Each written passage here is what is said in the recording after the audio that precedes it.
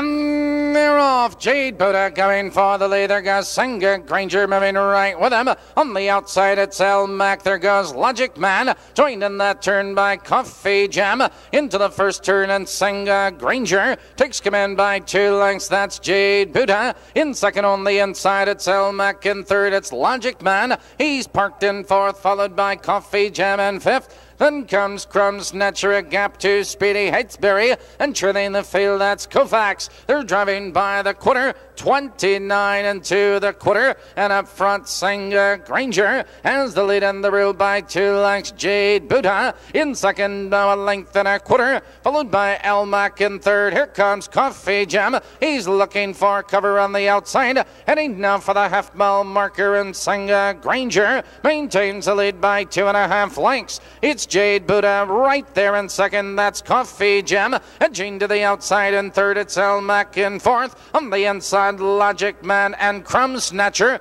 The field's halfway home. A minute and four into the clubhouse turn. They race Senga Granger. Maintains a lead a length and a half. On the outside, it's Coffee Gem parked in second. Jade Buddha is saving ground in third. On the inside, it's Elmac in fourth. Followed on the outside, Crumb Snatcher. Out of the turn, moving up the back stretch. Senga Granger has the lead three parts of a length. On the outside, Coffee Jam in second, followed on the inside. Jade Buddha in third. Here comes Kofax driving from last. He's moving up three wide. Now they drive around the far turn, and it's all Senga Granger. Senga Granger has the lead. On the outside, Kofax in second. That's Jade Buddha right there. Here they come turning far home. Senga Granger under urging. Here comes Jade Buddha on the outside. Wayne Moore is coming to the whip. It's Senga Granger with the lead. Here comes Jade Buddha charging upon the outside. It's those two at the wire.